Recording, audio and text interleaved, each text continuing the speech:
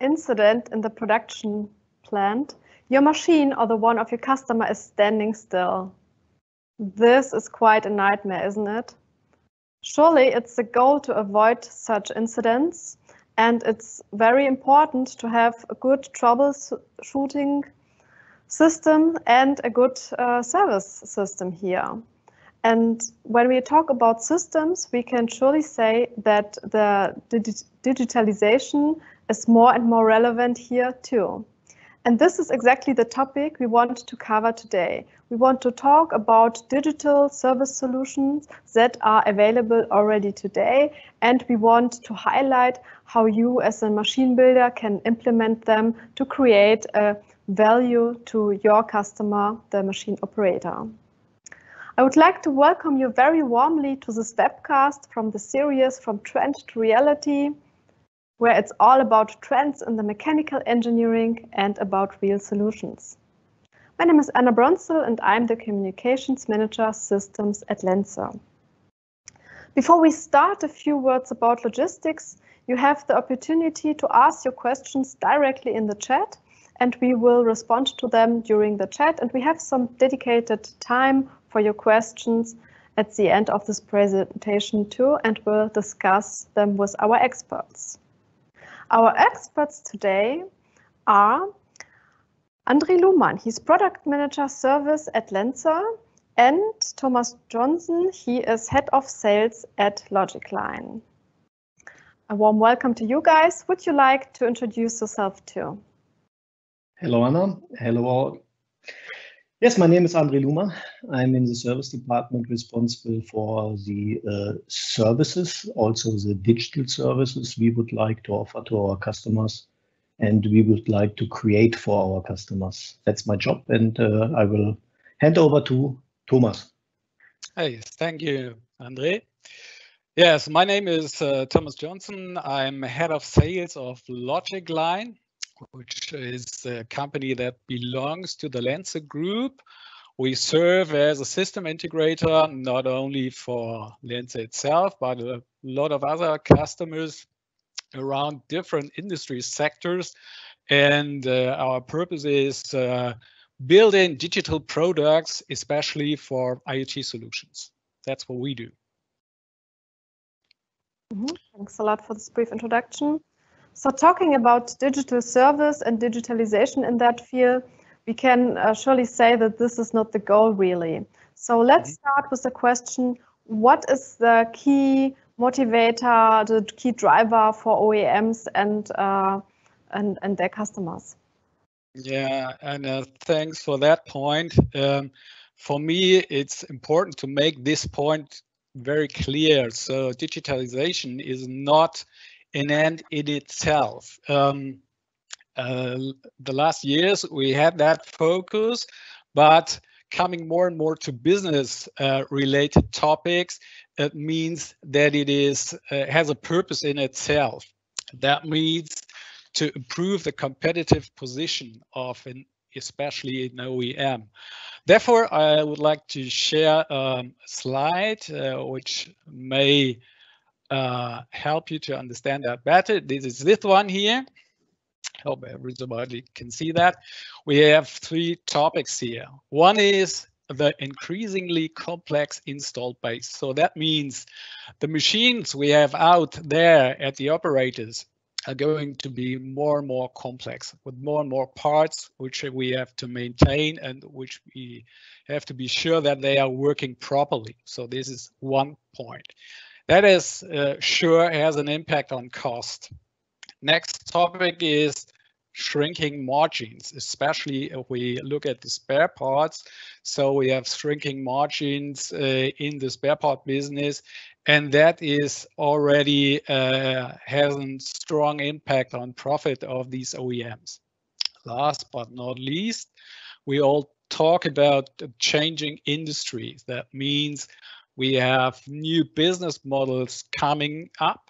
Uh, let's say uh, parts per use and things like that. Uh, um, business as a service is more and more a common model. So these are the challenges uh, uh, of the typical OEM today. And that is what is uh, digitalization about to improve your position in the competitive uh, surroundings, acting with these topics here.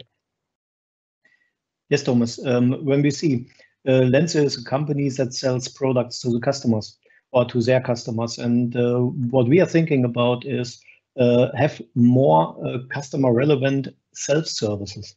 Uh, what is your point? What do you think? What could be the strategy to to look to the the customers from our customers to have uh, the opportunity to offer their customers a, a good story, a, guideline, or something like that? Mm -hmm. What What do you think?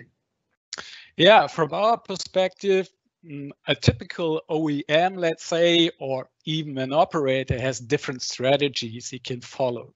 First of all, um, the first idea that comes up is I buy a product. Okay, so this is then a software solution, a software product. Uh, but coming back to what we want to achieve is we want to improve our competitive position. If I buy a product, that means that the vendor of this product will sell it to another company as well. So, so where's the differentiation? There is no differentiation if I buy a standard product. So this is one opportunity. Next thing is, okay, more and more businesses say that will be a typical core uh, uh, issue. So I have to do it for my own. I have to build up a team, I have to set up this team, and I will build my own solution then to be competent in that way. Problem here, often you have no team. These resources are rare and you have no experience. So at the end, that will take a lot of time and will cost you a lot of money to go to that point where you are competitive there.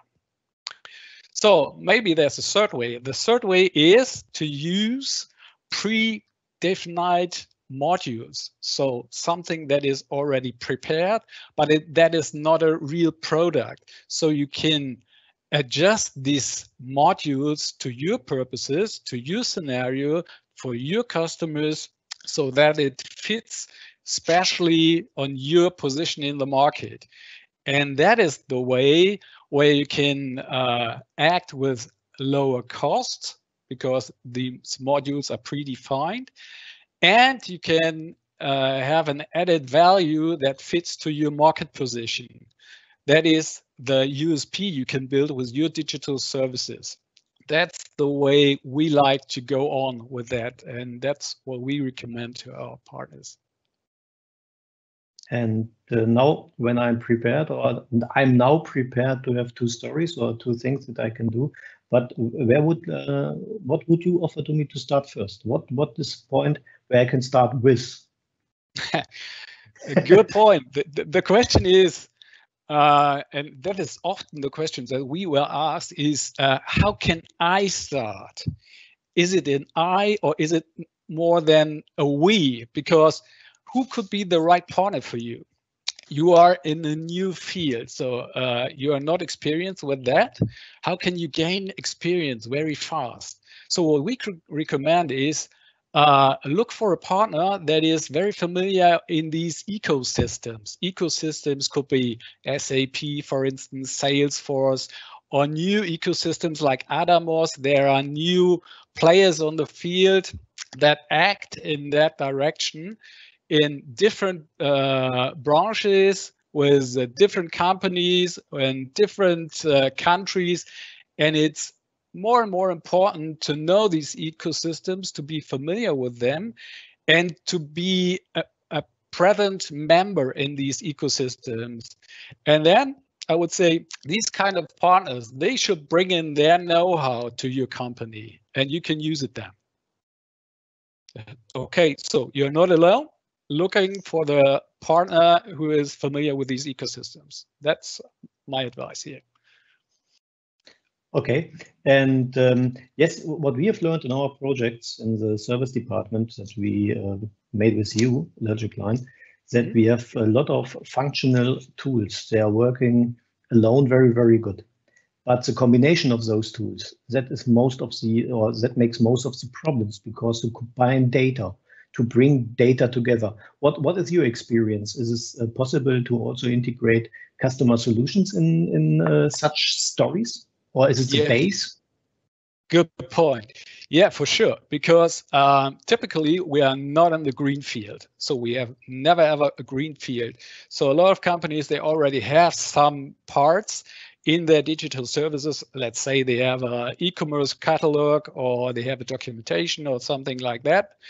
And they want to integrate it. And that's a good idea because uh, use what you already have, see where is the actual uh, the added value which we can provide to your customer and where are his pain points. So um, for our uh, purpose it's very uh, uh, very important to have a clear focus on added value for your customers. So in which point of uh, uh, his process you can support him while preventing information preventing better services, quicker services, and where he can uh, save costs. That is important to have a clear business focus for these digital services. Mm -hmm. Thomas, um, would you like to dive even a little bit deeper and share a concrete example with us here? How to create and to gain value? Yeah, okay. Uh, I would like uh, to do this. Um, with this slide here, this is an example for a smart drive app. So first thing you see is it's an app. So you can have it at your fingertips. It's everywhere. And uh, the purpose is um, you have a problem, you have an incident somewhere in your operation. And this uh, app gives you an uh, instant uh, indication where is the incident, in which part of your uh, plant, what is the incident, how important is it, and it gives you an information uh, regarding the spare parts you need. And if these spare parts are already there, or you have to ship it there or to bring it there, you can even uh, invent the bringing of the spare part to the point of your plan. And it gives you an indoor navigation. It gives you hints to the documentation. We integrated a chatbot here. So you can ask this system, hey, uh, tell me something about the incident and it gives you the right information and jumps directly into the point of the documentation you need to fix the problem. So after fixing the problem, you can document it and then you can uh, set these incident as saved and clear. So you have always a documentation and it helps you saving costs because uh, it doesn't take a long uh, uh, experience to solve this problem and even it uh, uh, reduces the downtime a lot. So you are quicker and faster up and running again. So this is a concrete example to save costs in this uh, environment here. Mm, thanks for that uh, example. And um, when you show us such an app, which is uh, very, very cool, my next question would be, hey, where can I download it? Thanks for that. As I just mentioned, uh, uh, we prefer this third way. That is, these uh, these kind of app. It is a prototype, but we don't sell it as a product. What we have, we have all the different aspects in these app. They are modules, and you can combine these modules to the product you want to sell to your customers, your digital services. So the point is talk with us. We can show you this. And then uh, with these examples like this, this is not the only one. We have a lot of more like this. Uh, we can discuss what is the right set of features for your digital services and then to build it up like that. And you can scale it up. You can scale your digital services. That's a very good point, Anna. Because um, for us in the service department, we made a concrete thing. We built up uh, a use case. The use case was a digital inventory because what we saw was a, a tool that uh, goes up to the installed base. And uh, we saw a problem on customer side that they do not exactly know what is the installed base. What I mean is they know exactly which machine do they have. Yes, they know, but they do not know what is integrated in that machinery. And that is what we saw, because when you talk to a customer and you ask him um, how many Lenze drives, uh, inverters, and so on you have, then they say, oh, I think I have 100. And uh, then we make the smart inventory and we see, oh, that's 150. And when you ask them again, and now please tell me in detail, which is the right thing you have, which is the right frequency converter from type and how old it is, then they do not know. That's that's a problem, but uh, uh, for that they are not prepared. And now we have a tool. I will show you a little bit how it works. One second, I will present my desktop, hopefully.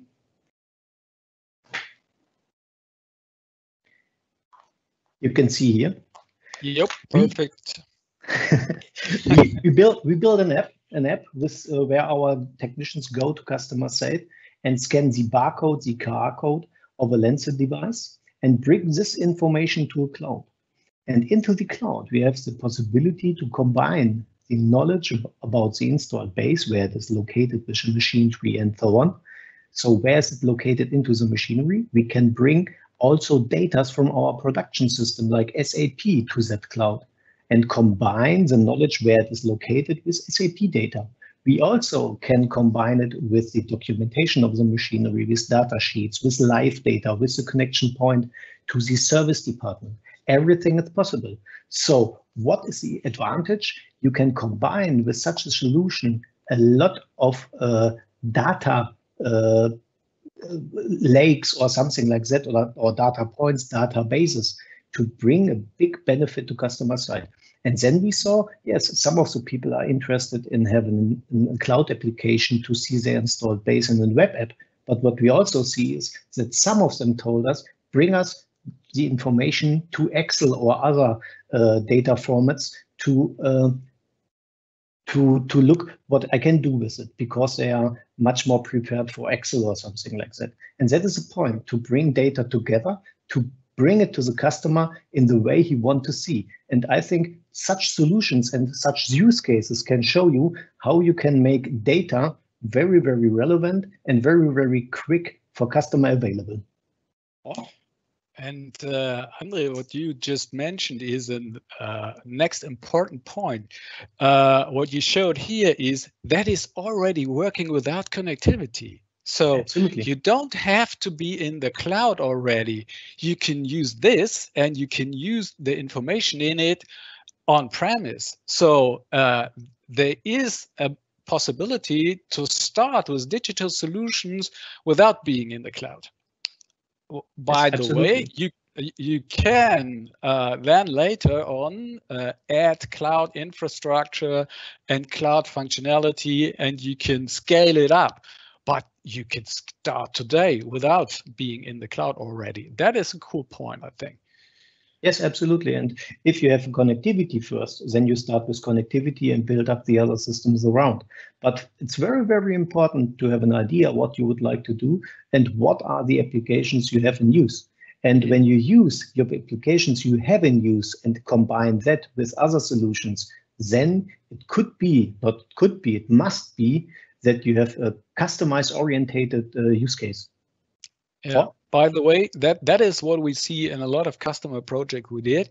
That uh, different services are combined to build a special solution for these OEMs, for instance.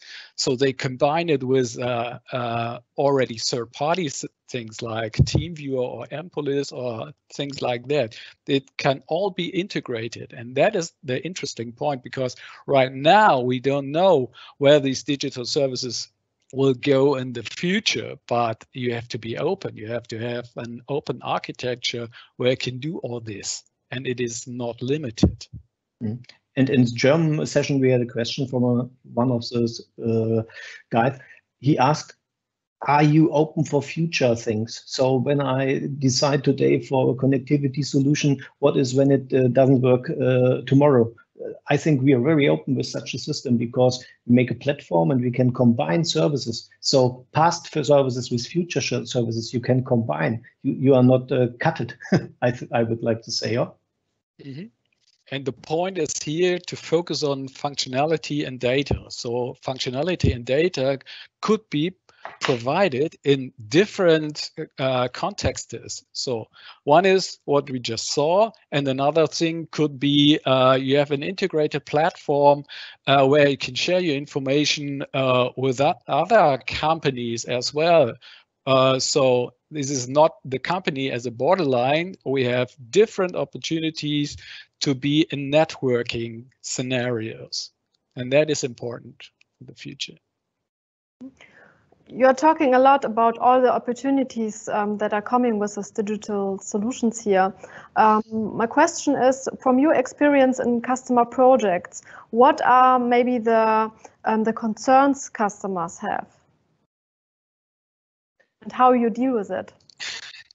First, well, maybe I can start. First concern is uh, we collect data data, data, data, and uh, the first meetings where uh, uh, I took place were, so we are looking at the data, but we don't get any insights from them. So we spend a lot of money without a business impact. So the first thing is uh, the business impact. Look at the business impact you want to achieve. That is important and reduce the functionality to the things you really need. That is uh, to avoid costs and to avoid a lot of work, uh, which isn't useful. Next thing is a big concern is um, vendor lock-in. So-called vendor lock-in means uh, you pay a lot of uh, money for a certain platform and they will charge you each month a certain amount and you're not sure if this platform will survive the next uh, couple of years. So to avoid this is, is, is again is important to focus on functionality on your data you would provide. And these are the things, the, the application itself, which, ha which helps your customer save money and which adds the value.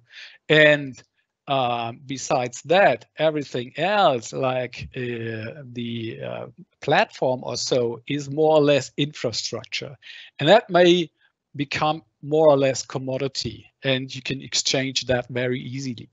But the value added comes with the app, and the focus should be on that. Absolutely. And uh, what we saw also is that when we created use cases from customer side, that customer has a problem and we solve that problem, then he expect to use digital solutions and not with your uh, internal problems go out to the customer and help uh, to give to fulfill for him 10 fields more in a digital app to have a benefit internally. That, that's not the, the point. Uh, see and look what is the customer's problem, solve the customer's problem, and then bring data together and start small don't start big with a big you have to to create a big exactly. picture but start small with small projects small benefits and then uh, you get also a pace on it because also the guys into your company see that there's something going on oh? yeah hey, totally agree just, let me just uh, cut in uh, because we have plenty of questions in the chat and I would like to use uh, the remaining time to address them. So let's have a look. Cost saving and time cutting is good, but how scalable are these solutions you showed? Uh, yeah, I, I, think we mentioned that already uh, in the last minutes. Um, it is extremely scalable. So have a focus on the value you would add and start with the real pain point and from there on, you go and uh, develop your solution and add more and more functionality according to the value you can add for your customers. So I, I start think, small, scale up. Yeah. I think, uh, Thomas, it's also very important because with our solutions, uh, the customer can select the best solution for him. Uh, the best solution for him could be totally different to, that, to that what we use. When we make a platform and we, we create applications in that platform, we I think we will not hit the customer point. We hit it 50%, 60%, 70%. It's okay but not 100%. And so there are so many applications on the market available. And if you bring those together and combine it with your knowledge and, and the knowledge of Logicline to bring it together, then you have the perfect solution and the perfect fit for you. I think that's the point. Huh? Yeah, and that is uh, why I mentioned uh, this partners who are familiar with ecosystems because they know a lot of these solutions. They know how to combine it and they know it from different uh, uh, sectors of industry. And uh, for instance, it could be cool to have an application that is working in medicine uh, that is working for energy as well but mm. nobody knows. And if you are familiar with these guys in these ecosystems, you get to know that. A good example is also Thomas SAP. If you see SAP, you can do everything, but nothing right. Not for the user. yeah, let's turn to another question. Okay. Is the smart app a concept or is it working at customer side? I'm not sure if uh, you covered that fully, but maybe you could just uh, add your views on that. Should I answer? Yeah. Yes, okay. Uh, the asset management from Lenze is available uh, in the next days in uh, Germany for the German market. So we make the first experience with our guys. They go to customer site and make a smart inventory. Um, yes, it's available also in the uh, App Store and Play Store from Google and uh, Apple. And uh, yes, the other, the smart app that you showed, it's it's a mock-up. It's it's a proof of concept we are working on, or Thomas? Yeah, yeah, yeah exactly. We do this uh, or aspects from that in different solutions. We already implemented that in uh, some uh, companies. So it depends what you want to do, and we can show these examples and share the experience we made with that. Mm -hmm. One question that's uh, going in the in, in a um, yeah, almost the same direction. Can every Lenze product be included in the smart app, e.g. cables, accessories? In the smart app, yes, we have two apps. Uh, if you talk to the smart inventory app, yes, you can you can scan every Lenze product, and uh, you get to every Lenze product, you get the product informations, and you can combine these product informations with the product, and then you have an asset management because you have also the location and that that app is available and the functionality is there for all uh, Lenze product that has a, a Lenze article number. and uh, the other app, yes, it's as we told, it's it's uh, it's a mock-up. It's a combination of services we build up and bring it to a fresh front, I would say, because what we created is a front end that combines services, and it's a use case that with one with one special customer, and it's not available for others, but for him it was a benefit. Huh? I see that there are so many uh, more questions in the chat and uh, it's really getting uh, into detail, which is good. So mm -hmm. our experts will remain in the chat for another 30 minutes so you can dive in even deeper or you can just get in touch with them um, after the webcast via uh, email or um, via phone. We will put in here the contact details. We will put it in the chat too. So they are happy to discuss and dive in even deeper. I think what is today very clear is that uh, digitalization is really a topic that is in the service field getting more and more important and it can be the key driver for you to improve your competitive position. Um, I hope you enjoyed this webcast and could gather some valuable information here. And you will find the information about further talks on our website or on the YouTube channel. You can have a look at the um, uh, previous uh, webcasts. You can just subscribe to our YouTube channel, so make sure you are not missing any of them. Next week, by the way, we will talk about the asset administration shell and talk about how concrete is the concept already today and how can I gain value of it today in the mechanical engineering. Yeah, good luck with your digital business. Bye-bye. Bye-bye.